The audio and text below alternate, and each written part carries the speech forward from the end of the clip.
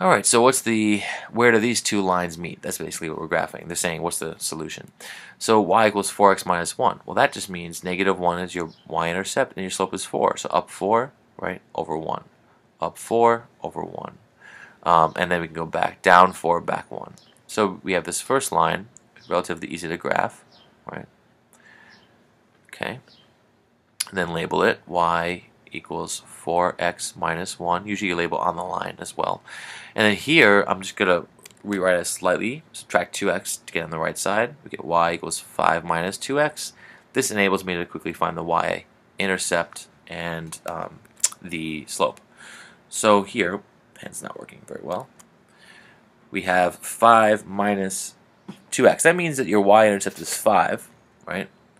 And so 1, 2, 3, 4, 5 and the slope is negative 2, so it's down 2 over 1 and so forth. But here it's nice, they, they give you a really straightforward problem.